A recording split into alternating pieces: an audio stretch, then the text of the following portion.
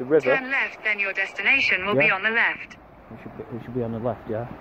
Now you can get in there when the water's lower, I think. So you can see this obviously must be used for something, I don't know what. You must have been able to get in there. It might be an air raid shelter for all I know. And it probably is. That's what I've got in memory of brother. And it does have a mason sign here somewhere. The Freemasons of East Lancashire.